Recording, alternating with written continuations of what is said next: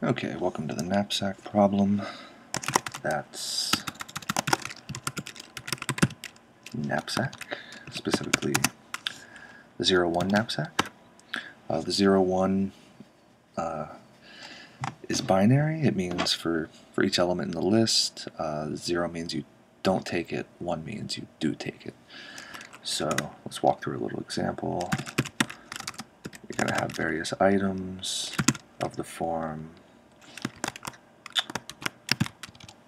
ID,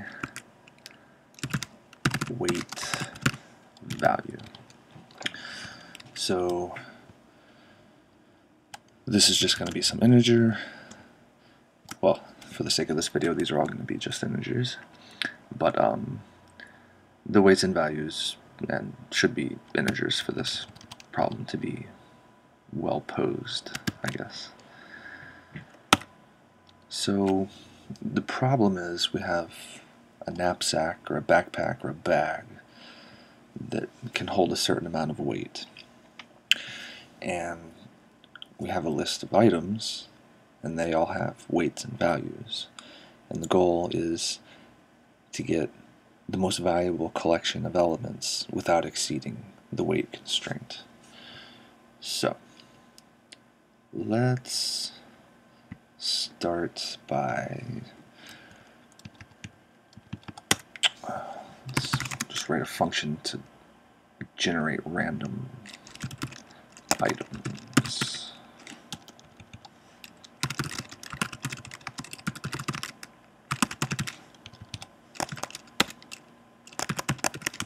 want to generate in items. Um,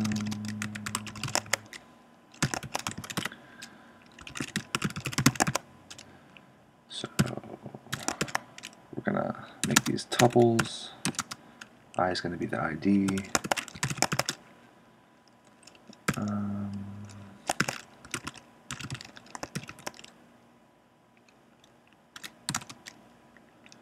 and we'll make that the same. There we are. Uh,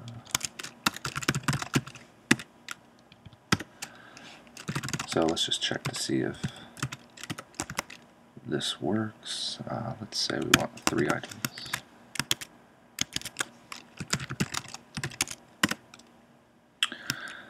Hello. Now, why did that not work?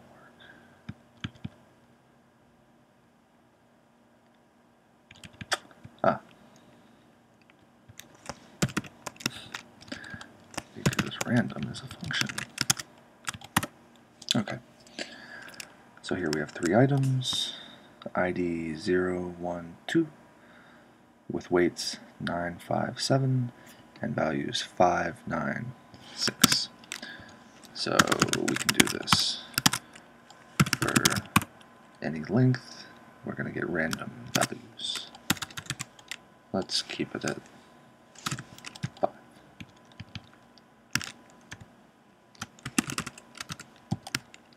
and we'll use that later. Um, so we're also going to need one more function. Uh, I went over this in one of my earlier videos. I'll just type it here real quick.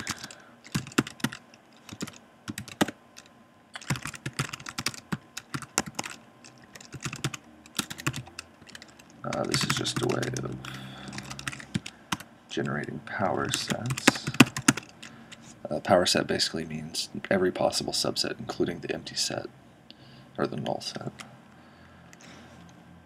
You, you'll see.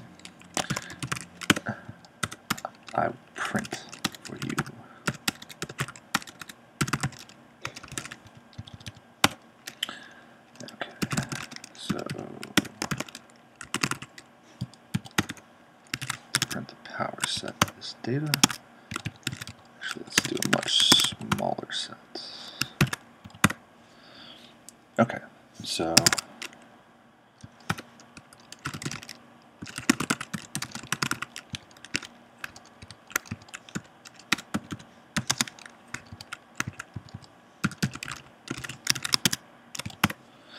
Okay, so the data is just two two tuples. So the power set is going to be the empty set, this tuple, this tuple, and then both tuples. So three items. Actually not, this might be an easier demo with just integers. There we go. So if you just have the integers 0, 2,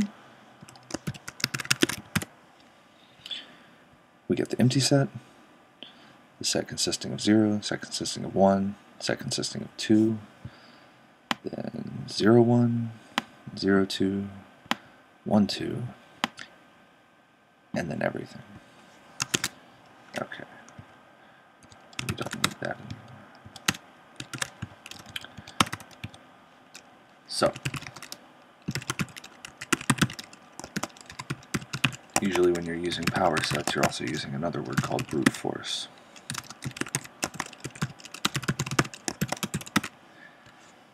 Um, brute force basically means you're going to try every different um, set in the power set.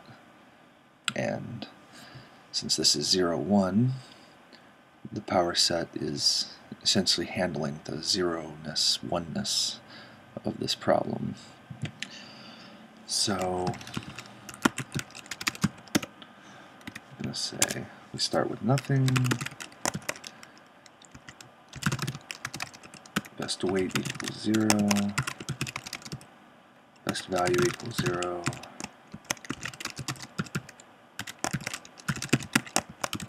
So for each item set in the power sets,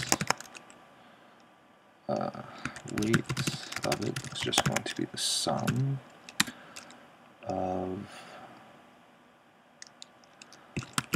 the first element. So, or not the first, the second, which is index 1.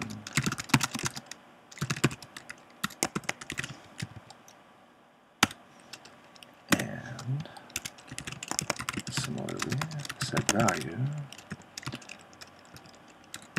is going to be the sum of all the third elements of those tuples of items from the power sets. Are you confused yet? So, if the set value is greater than the best value, and the set weight is less than or equal to max weight,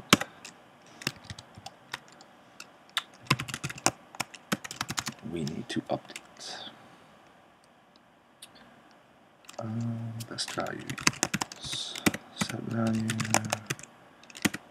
best weight equals set weight, and we're going to set the knapsack equal to the item set.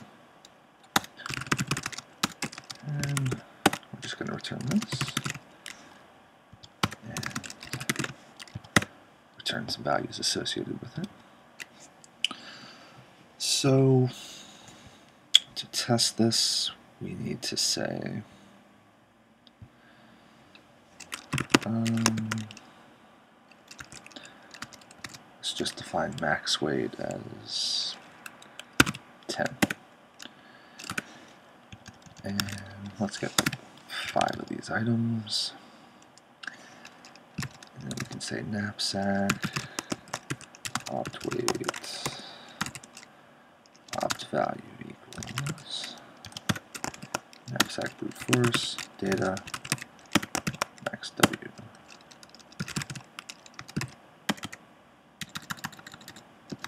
So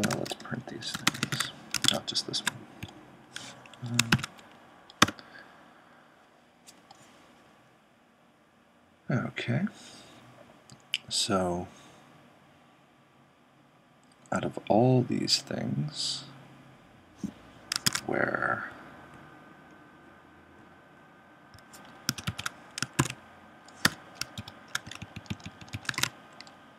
we have ID weight value.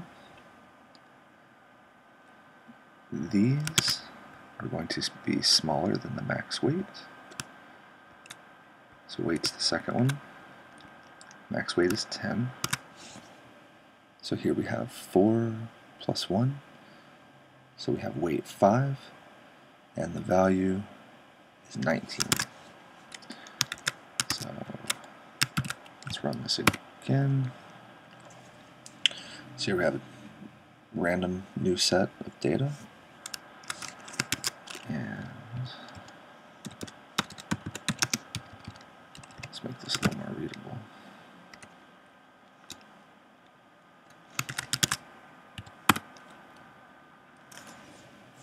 Okay.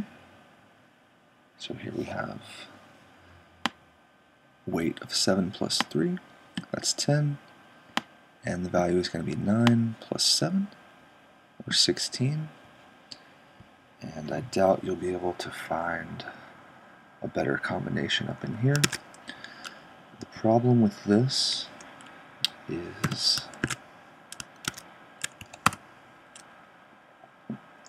takes a long time to go through these items. Actually, that was way too big. Oh, let's just try 10. Okay, let's try 15. Try 16. Let's try 20. Thinking, thinking, thinking. So power sets take forever because there are two to the n of them, where n is the number of items in the set. So let's just print that out at the top. Um,